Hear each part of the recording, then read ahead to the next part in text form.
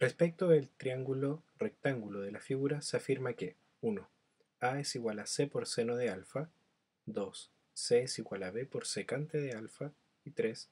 B es igual a A por cotangente de alfa. ¿Es, son ciertas? Esta pregunta es de una aplicación directa de la definición de cada una de estas entidades trigonométricas. Veamos primero cómo se escribe el seno de alfa según este triángulo rectángulo. El seno de alfa va a ser igual al cateto opuesto a partido por la hipotenusa, c. Por lo tanto, a es igual a c por seno de alfa. La expresión 1 es correcta.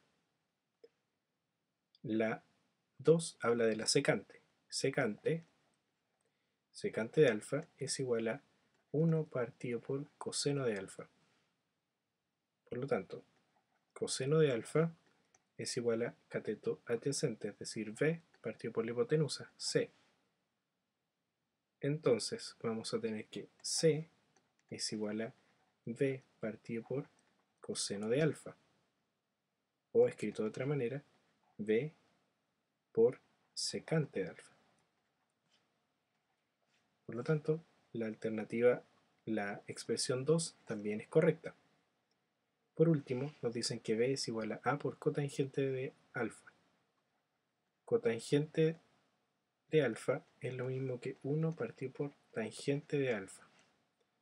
Y la tangente de alfa en este triángulo va a ser igual a cateto opuesto partido por cateto adyacente, es decir, A partido por B. Entonces, la cotangente va a ser igual a B partido por A. Y entonces B va a ser igual a A por cotangente de alfa.